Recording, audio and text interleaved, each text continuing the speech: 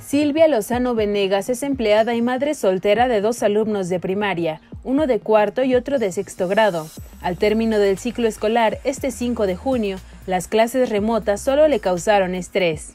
Desde en marzo que suspendieron las clases presenciales, eh, sí fue muy estresante la primera semana porque no sabíamos cómo era la dinámica Primero eran trabajos eh, por WhatsApp que te mandaba la maestra, no teníamos comunicación con ella. Ya después habilitó lo de Aprende en Casa, pero el problema de ese programa es que está muy desfasado. Pero sí es una carga emocional por lo del coronavirus, que sí te va a dar la carga económica.